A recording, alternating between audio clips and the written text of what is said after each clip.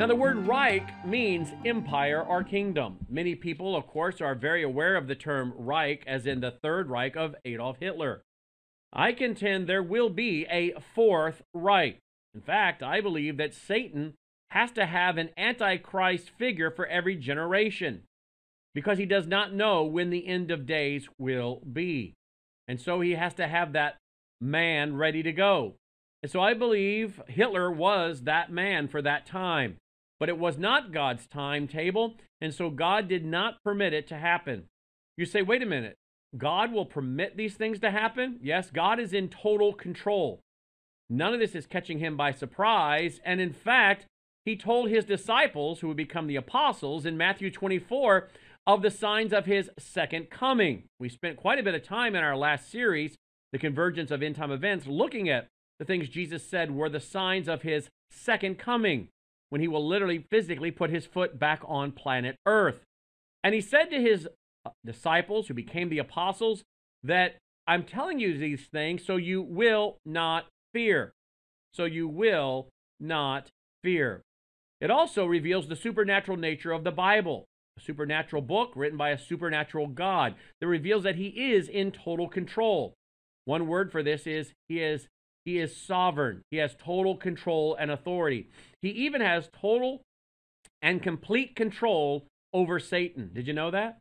God has total and complete control over Satan. But God will allow, as I've said so many times before, some slack out on the leash of Satan. But God has him on a leash. God will allow some slack on that leash, and God will permit Satan to do certain things and this will fulfill Bible prophecy. But make no mistake, there's a difference between what God allows and that which God agrees with. I've also said many times there is God's perfect will, and then there is God's providential will, what God allows to happen. This was not the way things were supposed to be. We, well, we were supposed to be in a perfect environment. The Garden of Eden is where it first began with Adam and Eve. And yet sin entered in. And because of the sin of one man, Adam, sin entered into the human race. And we all have sinned. The Bible says that. Yea, even I was conceived in sin. Even before I was born, I had a sin nature passed down to me from the first Adam.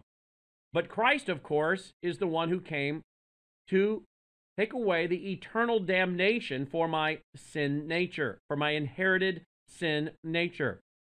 The Bible says all have sinned and fallen short of the glory of God. And so Christ came to be the perfect sacrifice to pay the full debt of my sin, of your sin, for those of us who would place our faith and trust in him. And when we do that, his righteous life that he lived on this earth is imputed or credited to our account. The righteous life he lived is credited as though I lived it, and the sinful life that I have lived was credited toward Christ as though he lived it, even though he did not. And he was the sinless Savior who paid the sin debt for all who place their faith and trust in Christ. And the Bible says when you do that, you pass from judgment into life. So make no mistake, this was not how it was supposed to be. But there's God's perfect will and his providential will. But God is still in control. He is sovereign. He is Lord of all. Satan is on a leash, but he will let some slack out, as I said, and Satan will seek to create and build his own earthly kingdom or a Reich. Now, I believe, as I said, that Adolf Hitler was the man of the hour for Satan to be the Antichrist figure, but it was not God's timing, and so God did not allow that to happen. Now, God can use and does use the sinful choices of man to accomplish his purposes. And even in that, we see that one of the goals uh, or one of the prophecies that we see in the Bible, well, that came to be greatly fulfilled through the sin of the Third Reich. And that is, many Jews fled to Israel. The Bible says that that's exactly what would happen, that they would gather from the four quarters of the earth. The Jews who'd been scattered in their judgment. God judged them and scattered them. He judged them for their paganism, and he warned them over and over and over again in the Old Testament. And they yet continue to fall into the sin of pagan worship and idolatry. much of the very religions that were birthed at the Tower of Babel. And he warned them to knock it off, and they wouldn't. And he finally scattered them and judged them. But he said in his mercy, he would gather them together once again. And so we see in 1948, Israel became a nation.